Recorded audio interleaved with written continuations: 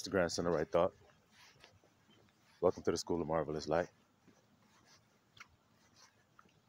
All of you, little flock, have experienced rejection and hatred in your life.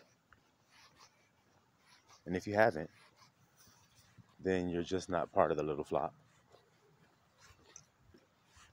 In this life, you shall have tribulation. But don't fear, for I have overcome the world. The world, everything that you're dealing with today,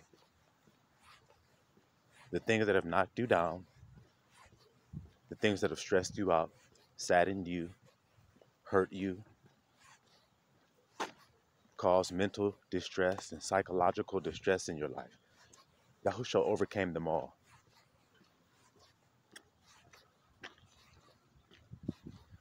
And he said, Follow me. And if you follow him, then you shall overcome. But in the midst of that overcoming, you have to go through the hate, the ridicule,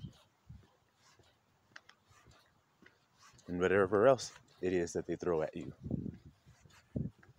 to try to shake you. And that's why Christ said, If a man keep my saying, I would liken him to a wise man that built his house upon a solid rock.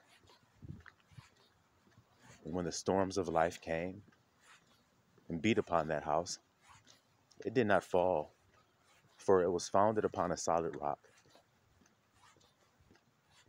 Your identity, who you are. Like I always say, people think it's strange when I tell them who I am. And it's only because they've never heard it. I understand. It's only because it requires a paradigm shift. Well, everything that Christ gives us requires a paradigm shift. If it didn't, he wouldn't have told us you have to become a new wineskin. or you'll burst. If you hear the new wine and you're an old wineskin, you'll burst. You can't receive it. You can't hold it. You can't take it in. Understand? But if you've been converted, which is what the scripture is always talking about,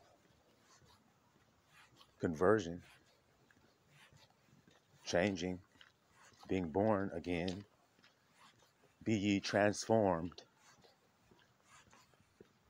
You see? And in this world, a lot of people like to say they've done that because they've changed the outward appearance. For instance, there's a girl and she dressed like a whore, acts like a whore, talk like a whore, walk like a whore. But she says she's been converted. So now she wears dresses down to her ankles, covers her body up, got all her tattoos covered up, wears less makeup, stops wearing all the fake hair. And now she's been transformed. But that's not the transformation that Abba was talking about. Once you hear a cool word out of a sentence, you stop at that cool word, word instead of finishing the sentence to the period. Be ye transformed, how so? By the renewing of your mind. See, it's a specific thing. It's inward, it ain't outward. And that's what has deceived a lot of people, and you all know it. A lot of you brothers in the truth have been deceived by women that have done that, and vice versa men have done it as well. Sagging their pants, wearing their Timberland boots all untied. Look at the geese, y'all. They said it's getting too cold around here. We got to go down there to Florida. but he got his pants sagging, got his jewelry on, gold teeth all in his mouth, hair all braided. And then oh, I come to Christ. Shaves his face, cuts his hair, puts on a suit, starts to talk like the pastor talks, even using some of the same words that he uses. Now I've been transformed. I've been converted. Can't you see that I have? They do all they that they do to be seen of men. I don't know what kind of game you think you're playing and who you think you're playing it with. But we see through the hypocrisy of it all. We're not looking for an outward manifestation of your transformation. We're looking for an inward transformation of the renewing of your mind because that's what Abba says to do. Rend your hearts and not your garments. Same thing I just described to you. People are rending their garments by saying, Oh, I sag, that's wrong. I'm going to change and put this suit on. Oh, I got on this mini skirt. That's wrong. Let me put this long dress on. That makes me righteous. You're just rending your garment, but you're not rending your heart.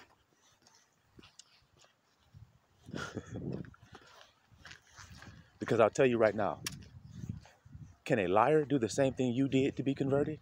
What do I mean? You changed your clothes and said, Now I'm righteous before God. No longer that sinner that I was. Now, I'm wearing a suit. Well, can a deceiver also do that? Yep, he can deceive in the same way. So then that's not a unique power that you have if the enemy can do the same thing. But what can you do he can't do? Have a converted heart. That's what you can do that he can't do. Have a renewed mind. And when it means renewed, it means all the stuff you used to think and feel inside your body is now different. That's actually what it means. Your internal world was all screwed up. Your internal talking to yourself was all nasty, negative, and hateful. And you know that. When you were in your ignorance, you were very hard on yourself. And to this day, you still struggle with it. Not being hard on yourself. Isn't that right, little flock? But remember, with what judgment you meet, it should be meted unto you. So then give yourself some grace and some leeway to learn yourself before you judge yourself and don't judge a thing before it's time. And that includes you, little flock. I've told you guys before that if you judge yourself harshly, then you will judge other, others the same way. And so, since you're doing other people like that, they're going to do the same thing to you because everything is showing you what's going on inside of you. Or as the scripture says, out of the heart come the issues of life. And it also says that the heart is desperately wicked. So to keep watch over it. But most people are not. I made a video, it's called Watchmen, what are you watching? Now my question to you, people are talking about all kinds of things that they claim are going to come on this earth. All kinds of things that they say God told them. But let me ask you a question all this judgment that's coming upon the earth is coming because of what reason? And you always say sin, right? God's going to judge the world because of its sins. Well, how does God judge? Man judges outward appearance, but Abba looks on the heart. So then, if your judgment is based upon the status of your heart, what do you think you should be paying attention to?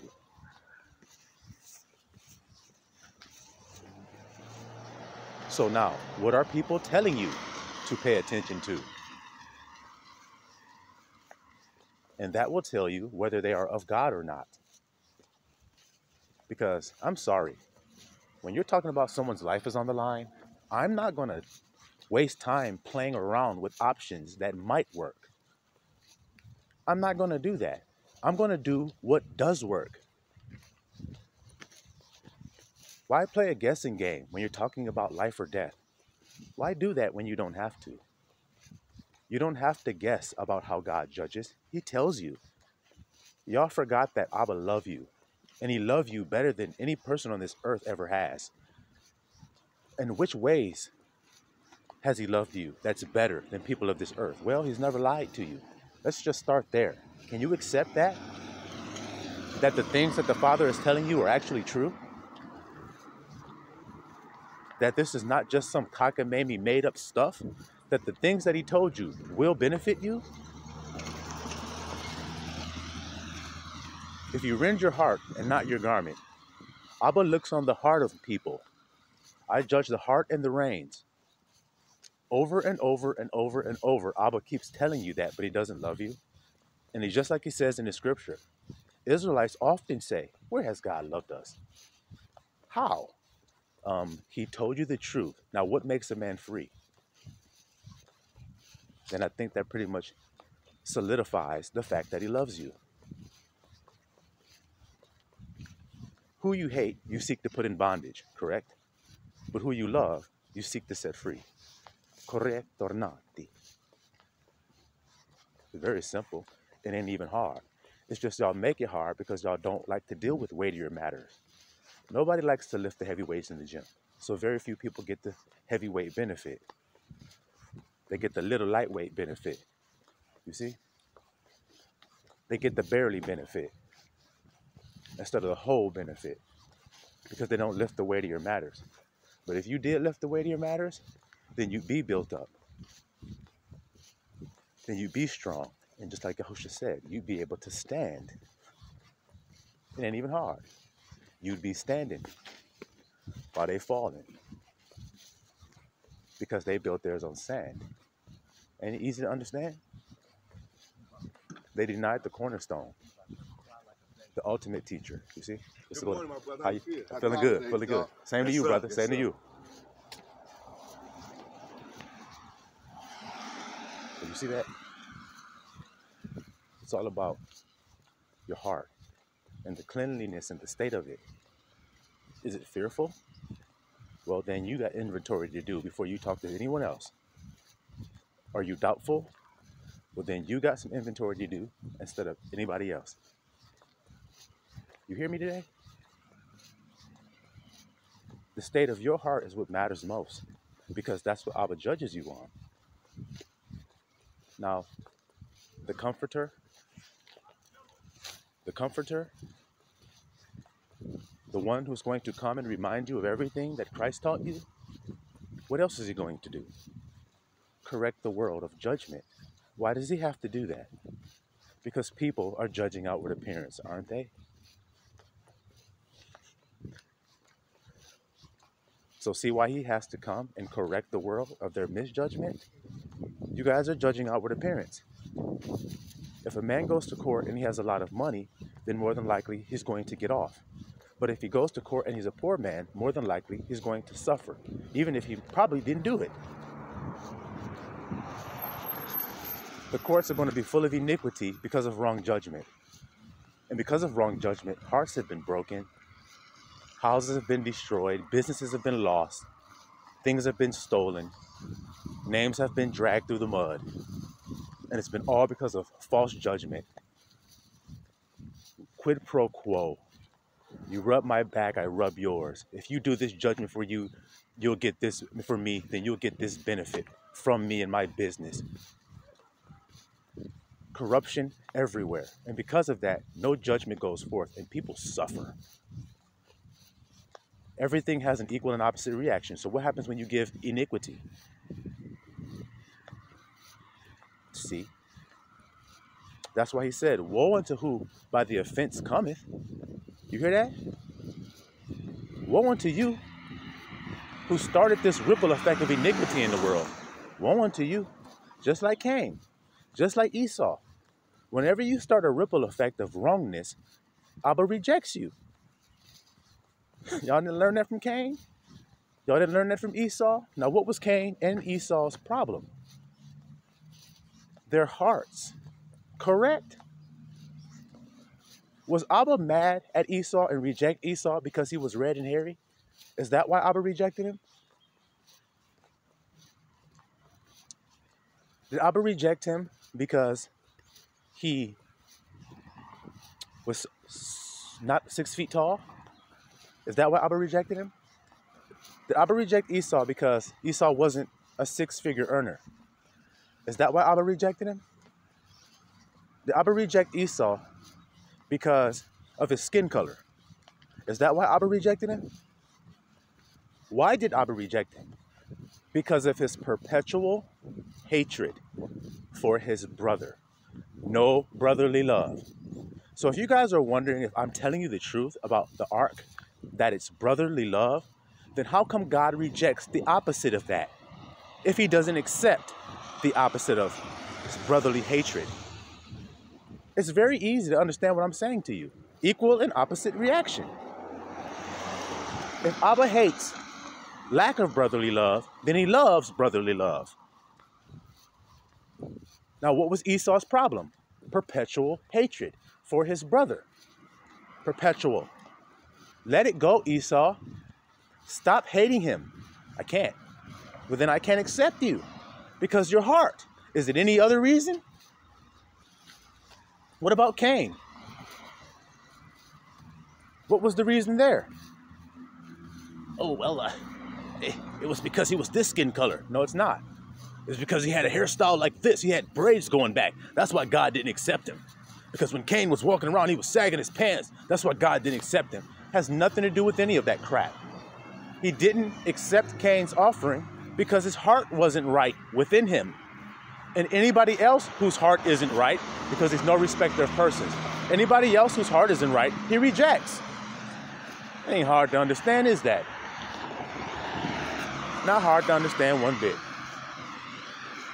So if you were wise today, you'd pay attention to your heart. And if something nasty or dirty has come out of it, then you might want to clean there before you start talking to somebody else. Before you start talking about what anybody else is doing. These people out here, they're this. This gang stalkers are doing that. These people hit me with a DEW weapon, and that did this. And then they're hiding out in a blue car on the corner watching me. And they're this. And then, then there's this. And that's all, folks. Well, that's all, folks. Y'all hear me today? That don't mean nothing if your heart is messed up because that's going to get you sent to, to the bottomless pit, to the lake of fire. What is? Your heart is. So why you worried about somebody else's? Now, if you can get the beam out of your eye, then you'll see clear enough to see somebody else's heart. So get the beam out today, little Israel. It would be wise if you did. Shalom, Israel.